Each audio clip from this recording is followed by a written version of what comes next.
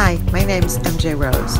My first dog, Pudding, was treated with by normal vets and got shots from the time she was a puppy and ate processed food. And in retrospect, we didn't do anything right, but we didn't know any better. When she was only 12 years old, she got heart disease and died. And she was a Maltese, and she should have had a much, much longer life because she was a small dog. When we got our next dog, Winka, we immediately started treating her homeopathically, going to Dr. Jeff Feinman. And she's 16 years old and jumps and runs and plays like a baby and has never had a shot and has never eaten uh, traditional dog food and has never taken any medicine actually. Anytime there's been an issue with a little skin eruption or a cough, we've gone back to our homeopathic vet and treated her with remedies, which she's responded to.